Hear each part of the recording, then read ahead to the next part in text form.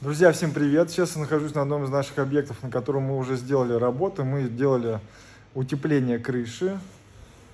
Камеру переворачиваем. Вот такая вот кровля. Это на самом деле такой полумансардная, получердачная крыша. Это вот это вот перекрытие.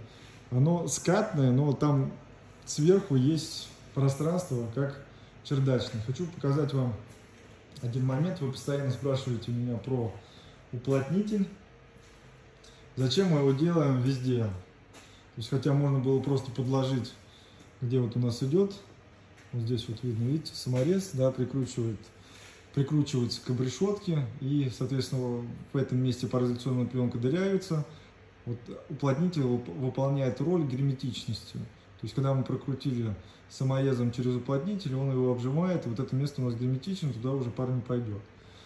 Второй момент, почему мы его делаем, потому что вот этот уплотнитель, он перекрывает скобы. То есть у нас э, скобы тоже могут быть побольше, поменьше. Вернее, скобы могут делать побольше и поменьше отверстия. Соответственно, вот этот уплотнитель это все перекрывает. И есть еще вот такой вот момент, когда приходит отделочник или приходят электрики, они могут прикручивать э, вот эти вот клеймера, которые держат гофру, к пароизоляционной пленке. Вот здесь вот, видите, вот этот уплотнитель, он выполняет такую роль от, дурака. Э, если бы этого уплотнителя не было, не факт, что они все вот эти вот клеймера прикручивали бы к доске. Да? В некоторых местах они могли бы ее э, прикручивать к пароизоляционной пленке. То есть такое часто я видел. Соответственно, в некоторых местах, вот даже вот в этой комнате, да, мы видим, что вот электрики прикручивают вот эту вот гофру к уплотнителю. Таким образом у нас получается пароизоляционная пленка полностью герметична. Все у нас приклеено. Ну, тут уже штукатурка заведена. Точно я не знаю, каким образом они делали. Может быть, сетку делали на пароизоляцию. Но здесь вот у нас место герметичное. Все стыки у нас пароизоляционной пленки тоже проклеены.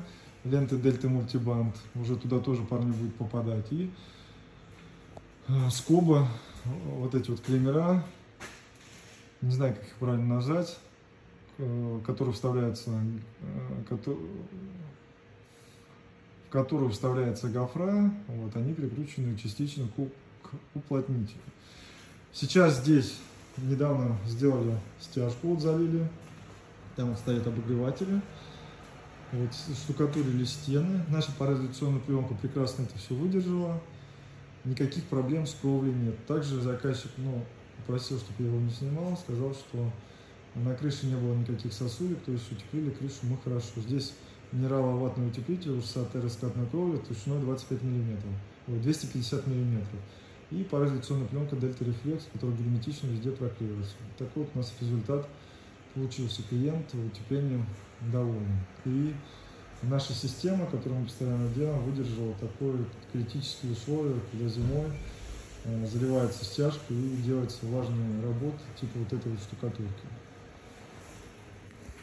Такой вот небольшой ролик. Э, хотел показать, э, как прозимовала наша крыша. Некоторые нюансы вам рассказал. Если есть какие-то вопросы, пишите. А так, самое главное, берегите себя и всем мира. Добра и мира. Все, пока.